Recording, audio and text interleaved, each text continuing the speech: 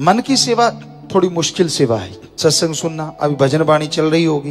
कई आपस में चुगलियाँ करना, दूसरी को ये, वो है, ये ऐसा है, फला वैसा है। क्यों क्यों अपनी भक्ति पे, पैरों पे बट्टे मार रहे हो? अरे इस एरिया में जब आके बैठते हो, दुनिया और दीन की खबर छोड़ दो, सिर्फ़ अल्लाह राम मालिक से नाता जोड़ लो। फिर देखो कैसे नजारे मिलते हैं। ना जी, पढ़ के कट जाते हैं जो वो नहीं टिकते।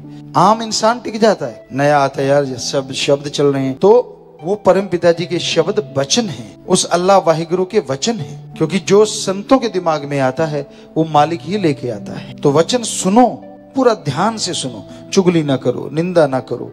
क्या मिलता है इससे? क्या हासिल हो जाता है? आप बड़े हो जाते हैं। क्यों मुझे पता है, दूसरों को पता नहीं है। क्यों नहीं शांत मते से भजनों को कानों में डालते? अरे सुमरन नहीं कर पाते। संत पीर फकीर के भजनों को ध्यान से सुन लो, अमल कर लो तो भी ज़िंदगी में खुशियाँ ही खुशियाँ आ जाती हैं।